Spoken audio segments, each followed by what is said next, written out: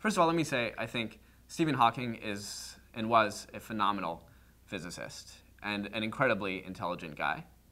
And I think he's right to say, to, to point out just how incredible science is at explaining the world. But note what's doing the explaining here. It's not that atheism is explaining the world around us, it's that science is explaining the world around us.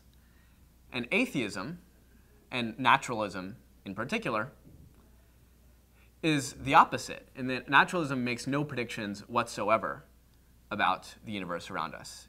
It explains absolutely nothing. As a theory that explains nothing, that makes no predictions, naturalism looks very simple. This is why Stephen Hawking can say that, you know, that, that this is the simplest solution.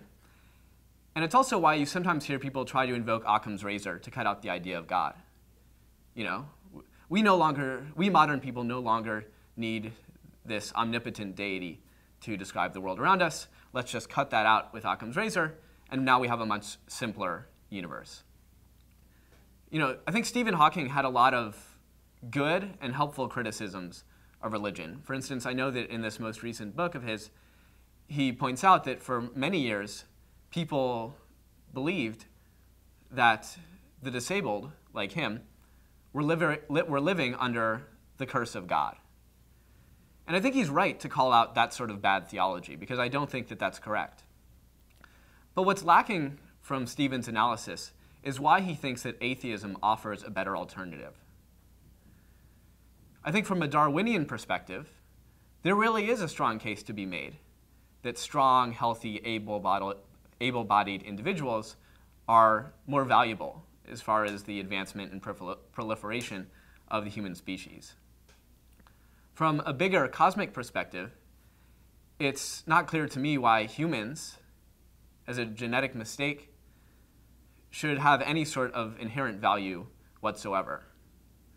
So I think that while Stephen did a good job of critiquing religion, he didn't apply those same standards consistently to his own worldview.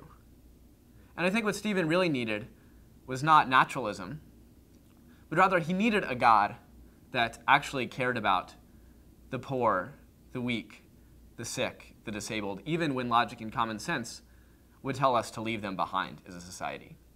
And I can't help but think of the time that Jesus is asked, Rabbi, who sinned, this man or his parents, that he was born blind? And Jesus says, Neither of them sinned, but rather this happened so that the works of God would be displayed in his life. And Jesus heals him. You know, and to this God that Jesus was talking about, someone like Stephen Hawking isn't worth less because of their disability, but rather their disability creates even more room for God to work. And it makes it even more incredible when someone like Stephen has the success that they do.